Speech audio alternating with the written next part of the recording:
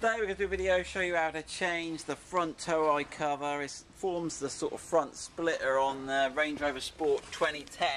So this is the standard front bumper. You can tell it, it it's got this funny shape where the fog lights go in and no removable fog bezels. Yeah, it's a bit sunny today. First time in a long time. Right, so you can change it. We'll show you how to take it um, take it off. Um, you can use a key or a coin. We got a fine two pence piece. Other currencies are available. Right, so you've got four of these little quarter turn screws underneath here. And um, these, so you, they should all be facing across. And then when you turn them and they're facing in the direction the car goes, you can pull them out then. Get them all straight. I've got some loose here. We've got some. Right. So they, they don't... That's the ones that we've got. A square head to them on. Oh, so if I have to give them a bit of a pull, you give them a bit of a pull, they dangle down. So you give them a little bit of a pull. It shouldn't fall out. That's it. Right, and when they're all dangling down, you can just slide this backwards. Okay? And what it exposes is this recovery hook here. So when you're getting recovered or towed out, that's what you want to be going on. So let's just have a look at this panel. So there you go. So it's got there. These are the four clips. Oh, Down a bit.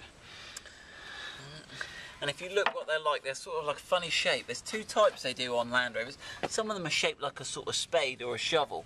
These are sort of a bit like an anchor. They're a little bit squarer. Um, so that's those. These often get taken off and not put back on. So we have got these on the website. But today, You leave them at the side of the road when you're getting recovered covered, or it's the like last that. thing on you worried about. But they also get damaged because where they are. So they often get cracked or chipped on curbs and stuff. Right, we've got this new super car carbon effect one. I've got my hands dirty, look at that. Right, so this one here has got this sort of carbon fibre effect. Um, it's just a sort of printed paint finish, but it does look pretty good. Um, so we're going to put this one on here. Do we need to reinstall the clips first? Is that easier? Yeah, that's probably going to be easier That's the way because they, yeah, they sort of.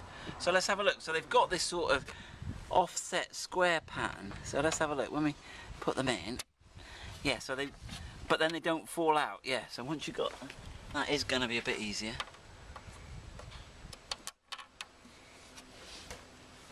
Thoughtful of you, Ian, with me on my back there, lying in the, on the wet bit of ground. I'll try. Right. then. There we go. So yeah, get that. Now we're in the same boat as when we when we took it off. So you got you got these little tongues at the top here. These what that one, that one, that one. So they they locate at the top. There we go. That looking good. It's fighting me a little bit. Yeah. You just need to lift it a bit. That's it. Right, okay. Let's get one in at this end. Right, so they yeah, they need to be straight, that's it. The direction of travel of the vehicle they need to be. That's it, they'll go in. And then turn them sideways. They're like a two-part locating. Yeah. That's it. I'm just trying to work out if, it, if they go one way better than the other. Forgot which way I turn them out. Yeah, clockwise. So as you look at the end underneath, they go clockwise. So you've got to find where the, there's a little bit of a knack to finding where the hole is on it. Okay, so if you struggle getting it in, you can actually get your fingers up at the back and just push up on that on the top layer just to get the clips in the top.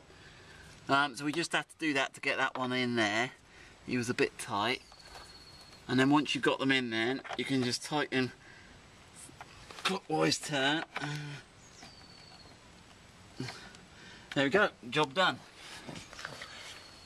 Now we're going to see the ca- carbon finish, but yeah.